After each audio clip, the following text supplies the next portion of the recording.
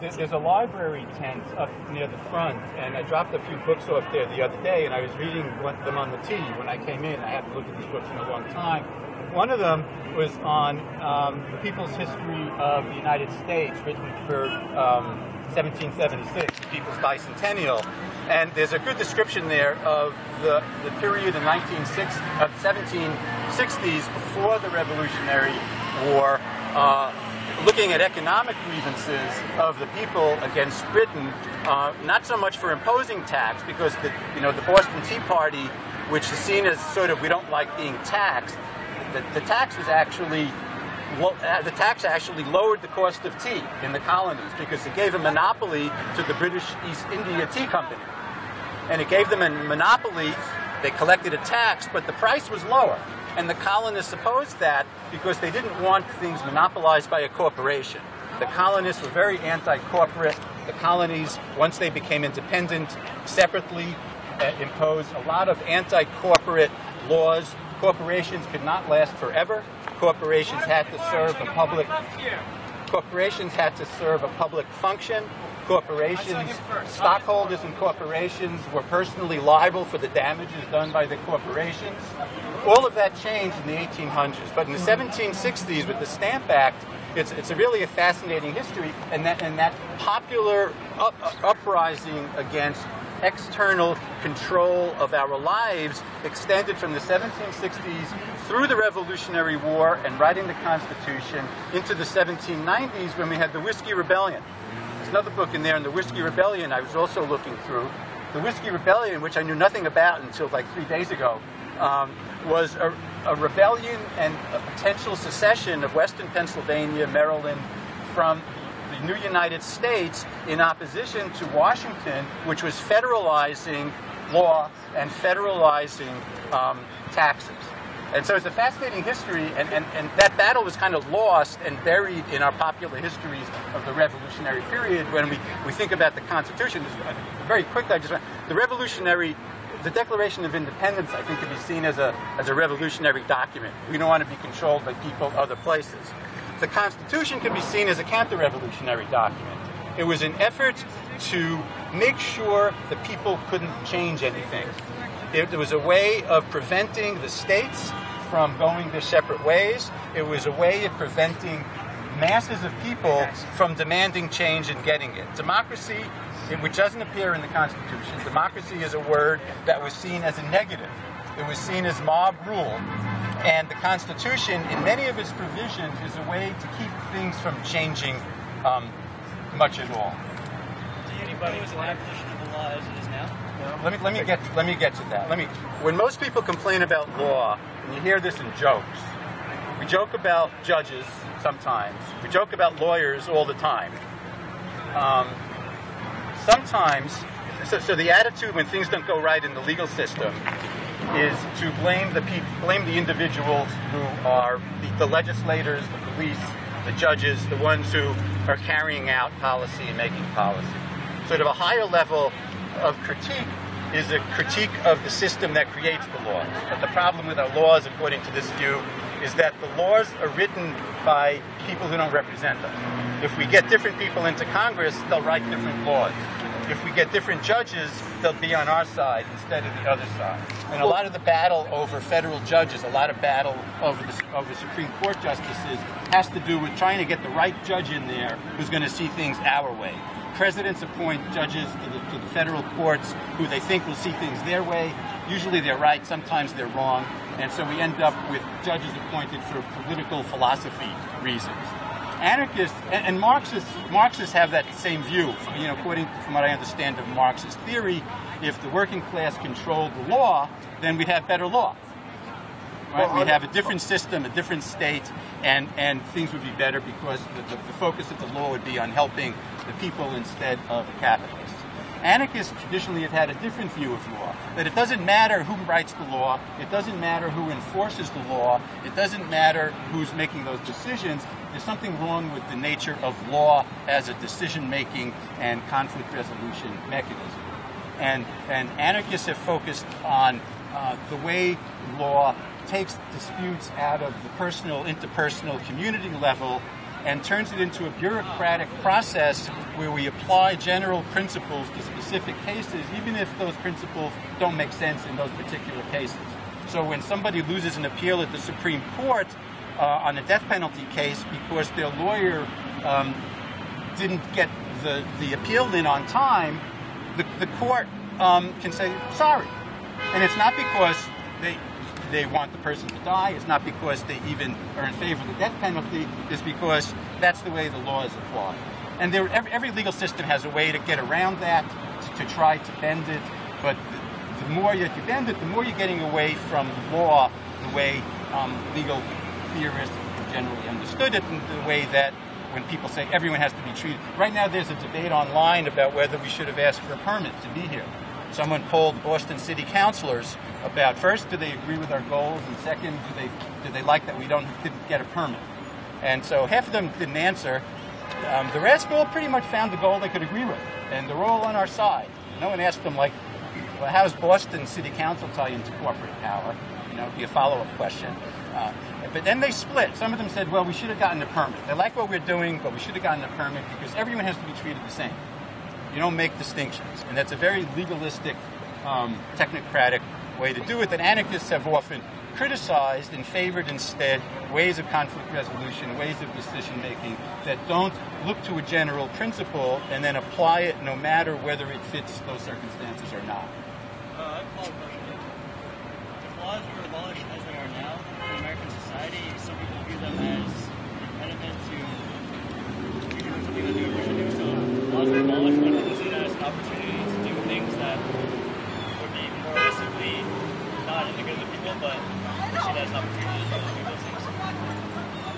Because as American society is now, people quest for money, people that is what has been lauded as as the moral standard. So if, if that is abolished, when people use that to take advantage of other people. And do you think law is a moral standard? I don't think laws. I mean, I, th- I think law law teaches people if we don't have a law, we're not going to be good to each other. You know, the reason that I'm not like stealing your stuff right now is because I'll get arrested. You know, it's like so. That's the kind of the theory that you know, if there's no law against it, uh, if there's a law against it, that means I'm not going to do it. And, and most people don't go around stealing things all the time. Most people have never murdered anybody and don't really want to. Well, the people in these buildings do. Well, the people, the people in these buildings, corp- corporations are a product of law. There were no corporations before we had a legal system that established the ability of corporations to exist. They're a legal, a legal fiction, a legal thing. The only reason that they can control property, the only reason that they aren't, um, that they don't have to serve a public function anymore, is because the law allows that. You know, we, we could, instead of um, demanding a constitutional amendment to end corporate personhood or put brakes on corporations, we could abolish corporations. You know, I mean, this is corporations are a creation of the state, and it's something that um, not inherent in the way societies function, communities function. That should be a political decision. If what we want is a democratic society, a democratic economy, should be part of that. We don't have a say in how the economy runs. It's a very anti-American notion that the people should have input into how the economy runs. Um, in terms of how we get from here to there, that's a, that's a good question. I don't know the answer to that question. I think clearly people who grew up in society have adopted those norms and expectations, and if the law and the police and the judges all disappeared, uh, tomorrow there'd be a full range of different kinds of reactions to that, and some people would be dangerous and other people would not. And my guess is law is not going to just disappear all at once, that the anarchists, for the most part, I think, uh, are pushing towards pointing out the problems with resolving things through legal means, looking for alternative ways. If there's a dispute here, uh, and there have been disputes here, you know, the solution isn't to bring in a cop from outside and have them resolve the dispute or arrest someone. The, the, the solution is to, to get people here who are trained in conflict de-escalation. There is training in conflict resolution, conflict de-escalation. We've seen this at the General Assemblies at times, where somebody gets up and is acting in a way that other people see as disruptive, and, and no one, I don't think anyone's had to call the cops yet, but managed to figure out ways to do that. So this is part of the experiment. This is part of the anarchist experiment and how you create a community without having somebody empowered to tell people what to do, without people being empowered to uh, arrest people and, and turn them over to authorities who have the power to make decisions. I don't I don't 100% consider myself an anarchist, but I'm like entirely sympathetic towards the, the anarchist position, um, and I see that as the end result of any sort of egalitarianly minded movement or, or ideology. Sorry, are you in any way sympathetic towards the notion that there are at least large elements of Marxism that can be seen as a transition towards the society that no longer needs laws and no longer needs needs a state apparatus at all? I don't know that I know enough about it to, to say. I think from what I know of, of Marx, Marx, Marxism as opposed to Marx, there's a lot of different variants of that. You know, I hear people tell me Marx wasn't the Marxist and said so himself. Yeah. So I don't, I don't quite, you know, it's not something that I've really kept up with. I know that Marxists and anarchists have always worked together, Yeah, although it's always been controversial. yeah, And, and the little I know of the history of the 1800s is that Mark, uh, communists and anarchists worked together in the International and the labor movement, and then split up over this issue of sort of ultimate goals and over um, questions of uh, how hierarchical, how horizontal the decision-making process is versus kind of a vanguardist notion. But that's not it's not really something I, I paid a lot of attention to. There's a very good piece on um, Marx's differences with Bakunin called Conspectus on Bakunin, written by Marx in 1875-76, where Bakunin asks a number of questions and Marx attempts to answer them. Um, but their relationship at best was chilly. Although I have to say that Bakunin actually translated Das Kapital into Russian. It came to Russia through Bakunin, and he always thought that Marx was an excellent economist. He just disagreed with him about this whole dictatorship and proletariat. To today, there are a lot of anarchists and, and a lot of Marxists and others who, in, in keeping sort of with branding, instead of using the term anarchism, use the term anti-authoritarianism. So there, there are people who have anti-authoritarian groups, meetings, um, magazines, websites, and so you'll, you're beginning to see more of that language as a way to maybe get around the branding Right. problem, but also to, to bring people in who aren't anarchists, but who can identify with with being anti-authority in the way that it's currently structured in society. But going back Another, another term that used my introduction to anarchism as a philosophy really came here in Boston in the 1970s when I answered an ad for a house looking for new people, and they, they said that they were part of a political um, group that did community gardening and study groups, and they called themselves libertarian socialists. And so I moved in, and it turned out, well, that meant anarchism. Libertarian was a word that used to be associated with the left. Here in the United States, it's been co-opted by kind of individualist anarchists, and and libertarian now is sort of this kind of right-wing anarchism.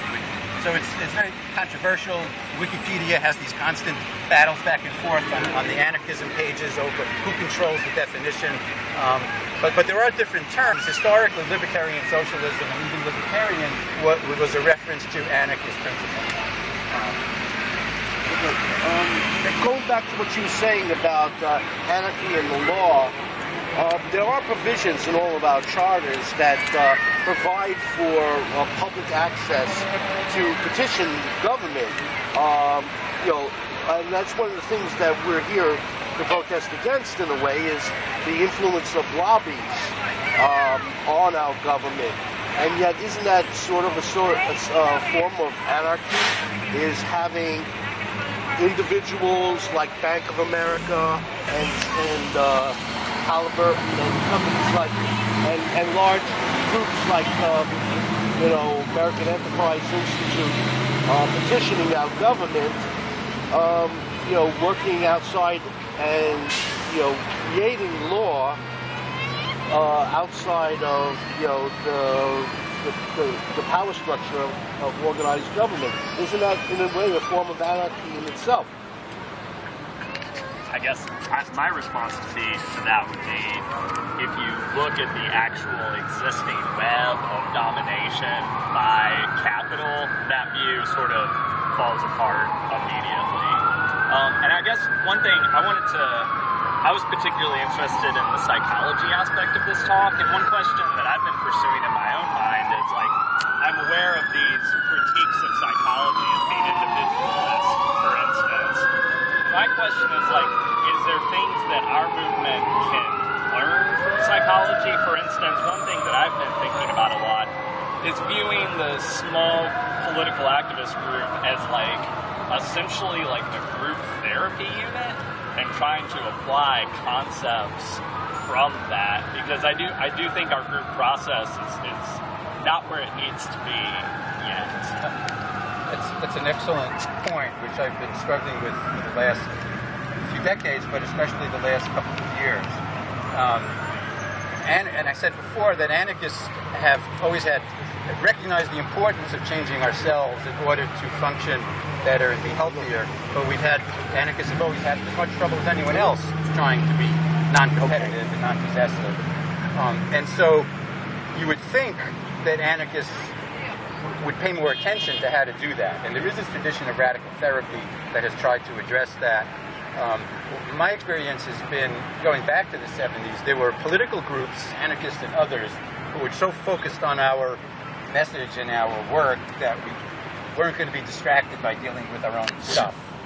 And then there were people who were so focused on fixing themselves, on the human potential movement, the New Age movement, um, and they might acknowledge that, yeah, we want the world to change too, but the way they were going to change the world was by learning more about themselves, becoming better people, interacting with other people better. And there was a big gap between these two groups, and there were very few groups that I knew of back then that tried to bridge that gap. Movement for New Society, which was a big group in Philadelphia, um, uh, which lasted for a while. They had a, a, dozen or two dozen communal households. They also uh, did a lot of uh, interpersonal, personal work. They came up in the 70s to do nonviolence training for people in the anti-nuclear movement. Uh, they're not around anymore, but a book, which I haven't seen yet, but a book came out this last year about the Movement for New Society perspective.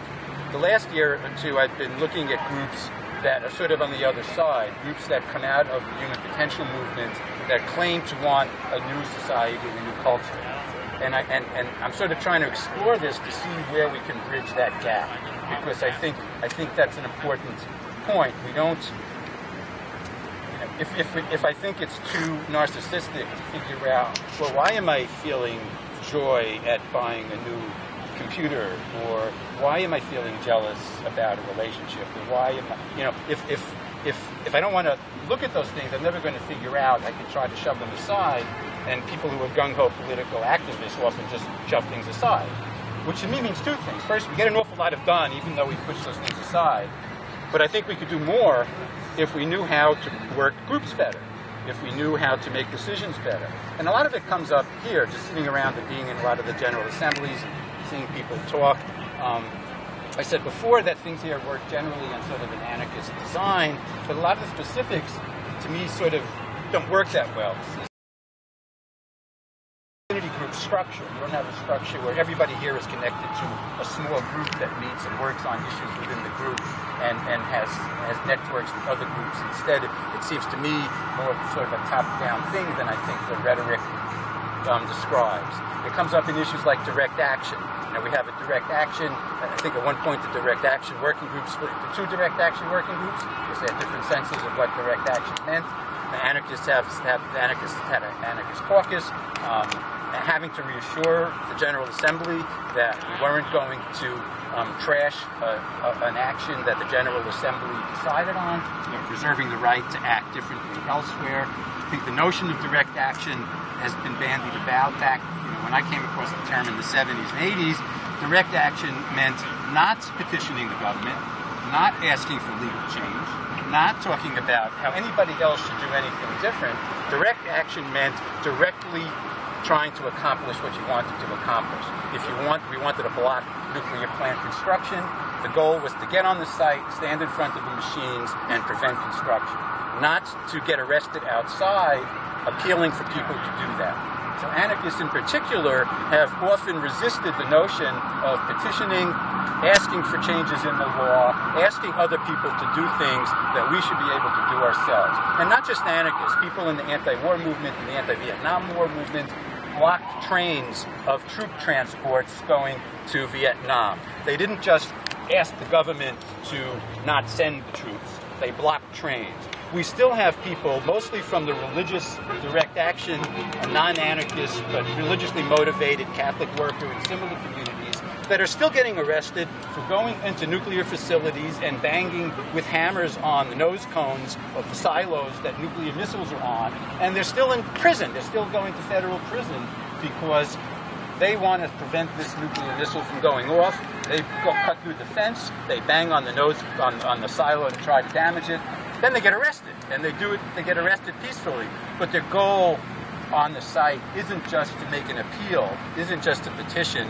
It's to show what if thousands of people were doing that, we might actually stop those missiles from taking off if they were ever launched. If thousands of people were preventing troops from going to the Middle East, we might actually stop those. So when longshoremen um, get involved in action and stop loading um, warships, for example, that's a huge thing. And, and so it's a very different model of trying to create change than petitioning and looking at which legal reform might work best. Can anyone see other things that have come up here that you think are relevant to this discussion in terms of the way decisions are being made or leadership or actions? Uh, I kind of want to go back to the notions of like how um, anarchism is violent um, and has, how it's portrayed that way, and um, and like and how people use or the media portrays how anarchists are just like destroying the state and property, um, and I I like to push back on that idea that it's more about transforming space, transforming like a park into something that's a community space, and that's I think that's more what anarchism is is what it's trying to teach. Um, and it's also not lawlessness; it's like anti-authoritarianism, as you talked about. Because even the General Assembly, if that's going to be a representation of anarchism or you know community development, there's rules of how you vote, how we talk.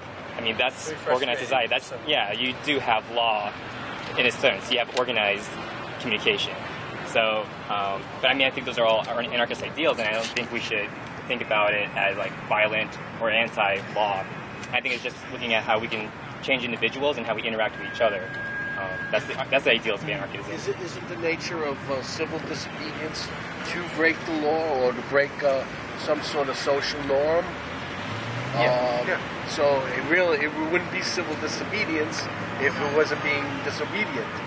Yeah, I think civil disobedience is more about um, being like upset with the system as, as it is for you I and mean, challenging action, the laws. action of civil disobedience. So like you know uh, blocking traffic here or something like that to gain attention or something Yeah. like that. Yeah. Or, or what they did Wall- on the Brooklyn Bridge. There's some, some of the issues that have come up here and in Wall Street and other places um, dealing with some of these questions. One is the question of violence. Um, there is there is a tradition within anarchism of violence, mostly a century old, of assassinations of heads of state, corporate leaders. It was never the dominant form of anarchist organizing, but it was there, and it was uh, part of the image of anarchism, and it was what led to the Red the Red Scare in 1920, where basically the federal government rounded up anarchist immigrants and sent them back to Italy and Poland and wherever else they came up with. We also have Um, the Ku Klux but, but anarch- there's always been these different trends. There's, there's anarchists who have favored what they call propaganda of the deed, which originally meant a bunch of things and was taken to mean assassinations of political leaders. But there have also always been um, pacifist anarchists.